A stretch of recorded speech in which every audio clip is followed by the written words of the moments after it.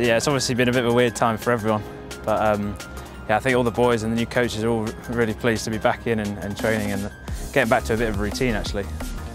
It's obviously tough, tough days at the moment, but um, yeah, we're getting all the, the details sorted at the moment and they, they bring it, brought a new new energy to the place. So no, it's been really nice. Bit bit of freshness doesn't go down too badly. So no, it's been it's been good.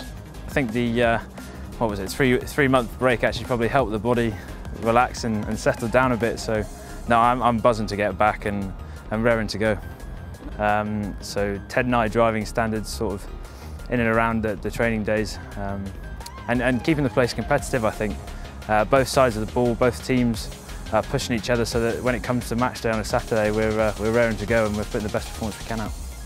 It, it obviously doesn't give us too much time. We don't, don't have a full pre-season to get things uh, set in stone, so it'll be interesting. I think it's a, it's a good uh, sort of dry run almost for the next upcoming season anyway. So um, I think all the boys want just want to be playing rugby and uh, I think the sooner we get back to playing the better for, for everyone, the fans included. So um, no, we're all excited, coaches, coaches as well. Um, and yeah, I think we're just raring to go to be fair.